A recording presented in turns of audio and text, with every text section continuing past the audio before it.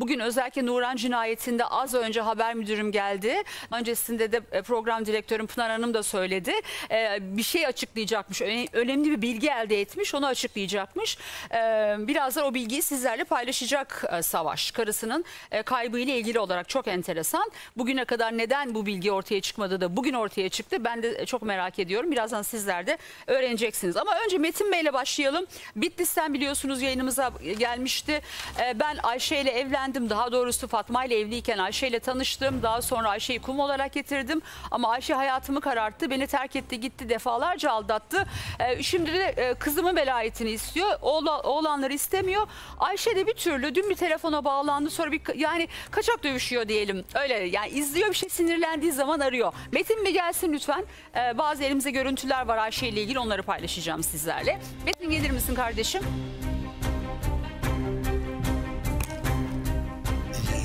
Nasılsın Metin? Teşekkür ederim.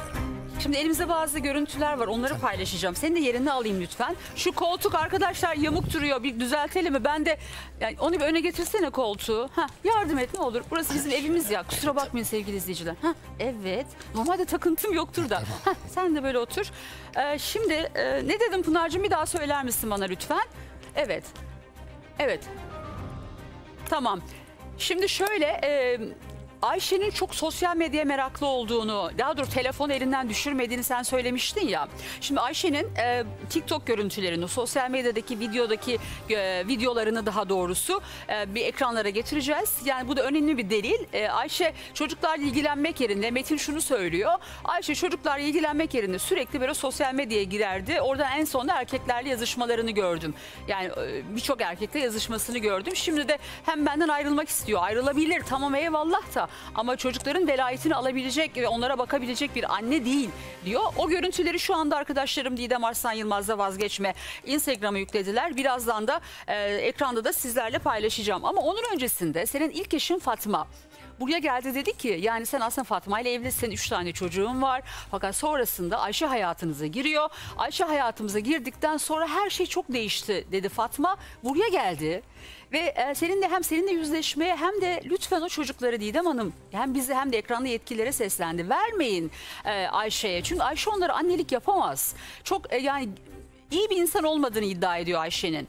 Doğrudur Didem Evet abla. ama Ben mevzu şu. Yani sen Ayşe ile hayatına girdikten sonra o çocuklarını Fatma'da olan çocuklarını ne umursamışsın. Ama diyorsun ki yani çocukları bana karşı kışkırttı Fatma diyorsun. Fatma çocukları sana karşı kışkırtsa buraya kadar getirir mi? Seninle görüştürür mü? Görüştüler de o görüntüleri birazdan yayınlayacağım. Buluştunuz değil mi siz evet çocuklarla? görüştüm. Nasıl, Çok teşekkür ederim. Nasıl geçti? İnan anlatamam Didem Hanım. Niye görmüyorsun çocukları 5 yıldır? E, Didem Hanım inan e, hem durumum müsait değildi. Hani işin gerçeğini söyleyeyim. Hem pandemi, pandemi girdi bir durumum bir Ya şey beş değildi. yıl ya. 5 yıl oldu. Geçen sene gittim getirmedi. Geçen sene Manisa'ya ben çalışmaya gittiğim zaman e, garaja getireceğini söyledi. Dedim rahmetli abim var Manisa'da. Mekanı cennet olsun. O onun evine götürecektim onları. O da tamam dedi. Sonradan getirmedi. Köye gel dedi. Ben de yüzüm varmadı köye gitmeye. Hani Aman boşandım bunlar bir biliyor bir şey söyleyeyim mi Metin? Bunlar hepsi bahane yani. Bahane sonra Türkiye'desin. Çocuklar İzmir'de. Sen de Menemen'de mi yaşıyorlar? Yani sen de, Menemen'de. sen de Bitlis'tesin. Ne olacak bir otobüse binsen gitsen çocukları görsen ya her şeye geçtim. Çocuklarla görüntülü konuşabilirsin. Hadi gidemedin maddi durumun yok. o yok. Arıyorum, arıyorum Didem abla. Arıyorum hep e, şey karşılık verince içimde bu Ama sefer çoc- çocuklar sana öfkeli. Çünkü çocuklar da şunun farkındalar. Çok da kü- biri 9 kaç yaşındaydı çocuk, oğlan çocukların senin? biri 12-13 yaşında. Ay yazık ama onlara ya. Arkadaşlar hazır mı onun montajı? Hazırladınız mı? Ee, şöyle e, arkadaşlar onu birazdan montajını şu an yetiştirememişler. Birazdan yetiştirecekler. Ee, ama dün Ayşe yayına bağlandı. Onu birazdan e, yani Fatma'dan olan çocuklarıyla Metin'in kavuşmasını birazdan izleyeceksiniz. Arkadaşlarım yetiştirmek üzereler. Ee, ama önce dün senin e, Fatma'dan olan çocukları pardon. Dün Ayşe yayına katıldı. Ve yayında e, bana şu bana da şöyle bir eleştiride bulundu. Didem Hanım hani siz çocuklardan da kadınlardan yana e, bir pozisyon alıyordunuz. Valla çocuklar oldu söz konusu olunca mevzu bahis olunca kusura bakmasın yani Ayşe'den yana pozisyon alamam ben. Şimdi sonuçta ortada çocuklarını bırakıp terk etmiş gitmiş bir kadın var mı? E var. E ben kalkıp yani ay iyi ki bu çocukları terk ettin gittin mi diyeceğim şimdi Ayşe'ye. Vallahi demem yani. O çocuklar şu anda perişan durumdalar yani. Allah Allah sen çocukları yani bir, bir şekilde ne görüyorsun gittiğinden beri ne onlara bir ya bir bayramlaşmıyorsun çocuklarla. E Didem Hanım sen niye kadınlardan e, yana yer almıyorsun? Ya Ayşe'cim sen önce çocuklarına kıymet ver de ben de sana sonra kıymet vereyim yani. Rica edeceğim ya. Çok rica edeceğim. Allah Allah. Sonra kalkıyor kahane diyor kadınlardan yana yer alıyorsun. Didem abla, Evet. Söyle.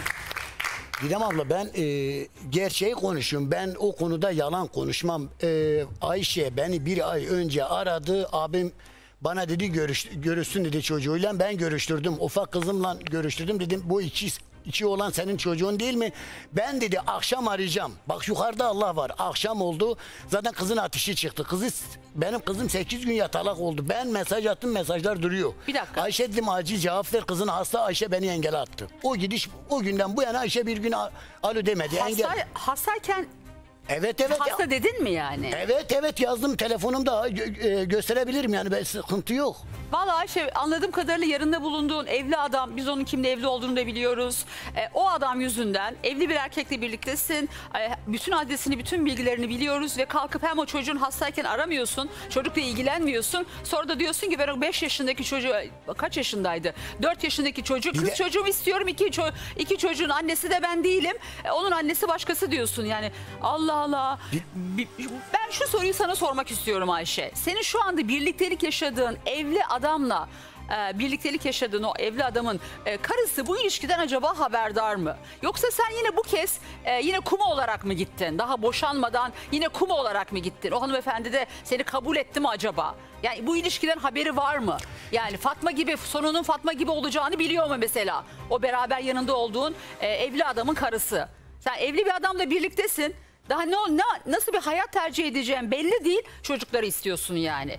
Ya o çocukların yani ben şahsen benim gönlüm sana verilmesinden yana değil. Ben kendi kanaatimi bildiriyorum ama ama e, sen e, yani devletin de bu çocukları anneye vermemesi gerekiyor. Yani Didem zaten abla- yet- biraz araştırma yapsalar anneye vermezler Ee, yani. Didem abla şöyle dile getireyim. Şimdi e, yaşım 40.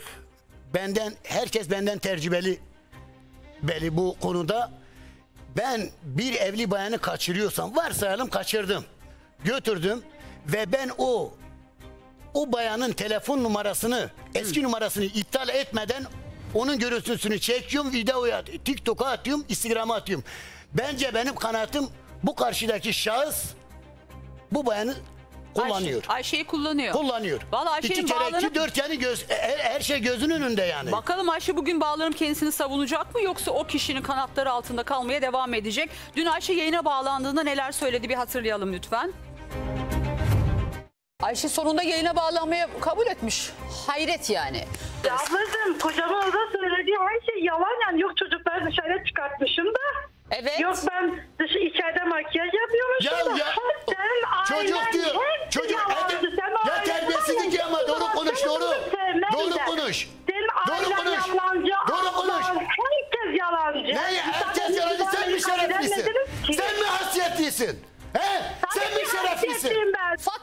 Aramış. Sen söyler misin? Seni aramış ve seni uyarmış. Biz evliyiz. Ee, evli bir adam bu, bu Metin evli. Ona rağmen e, sen onu terslemişsin ve o, o eve bilerek söylüyor. Bir şu Fatma'yı söylesenize. Sürekli neden e, mahkemelerdeydiniz, emniyetteydiniz bir söylesene. Duydun ben mu? daha yokken. Ben Ay- anne olsaydım ki 18 yaşında iki tane çocuğunu bırakıp başkasına gitmezdim. Arkadaşlar şimdi ne anlatıyorsun bana ya ne anlatıyorsun? Sen yuva yıkanı yuvalıymışsın yani. İşte ben kimsenin yuvasını yıkmadım ama sen benim yuvamı yıktın. Ay diyor ki yuva yıkanın yuvası olmaz diyor. Ama Ayşe şunun farkında mı? Yani Fatma ile olan yuvanı Ayşe yıkmış. Ee, Didem Bilerek Hanım- ve isteyerek Didem Hanım, yapmış. Dün akşam ben e, ilk yayına çıktığım e, şeyi izledim. Dün ilk defa izledim yani. Ayşe ilk gün ne diyor? Ben Ne diyor? Metin'in evli olduğunu biliyorum. Ben dün akşam ilk e, yayına çıktığım zaman dün ne diyor? Ben diyor evli olduğunu bilmiyordum. Ayşe düpedüz yalan. Yalancının önde gideni. Bunu ben tek değil. Bunu bütün Tatvan da biliyor. Ya madem bu kadar Ayşe yalan söyleyen bir insandı. Ayşe sürekli gözü dışarıdaydı. Hep böyle seni sürekli aldatıyorsa. Sen Ayşe ile yani bu kadar mı Ay- Ayşe'ye abileri abileri bir şey yanlış bir şey yapar diye yani bu kadar iyi bir adam mısın ki buna sahip E çıkıyorsun abla şimdi yani? her şey ortada bak. e, Ayşe'nin Allah. bak Ayşe'nin Ayşe'nin bana 20 tane e, 10 tane 10 kişiyle mesajlaştığını yakalıyorum ve ben kardeşine İstanbul'a kışın yanına gitti. Ayşe bir sefer daha kaçtı kışın. Bir ay onu sakladılar. Ama küfür Kim tek saklıyor kelime. peki? Kim saklıyor? Ayşe kaçtığında. Ee, Ailesi mi? Ailesi, kardeşi var İstanbul'da. Yanına gelmiş. saklayıp ne yapıyorlar? Yani ne yanında yapıyorlar? demiyorlar. Yanında demiyorlar. Ee, sonra ben aradım. Bana küfür etti. Ağır küfürler etti. Dedim ki ne? Nasıl olsa elimde şey yok, delil yok. Sen bana küfür et. Bu sefer yakaladım Instagram'da. Kardeşine dedim al dedim.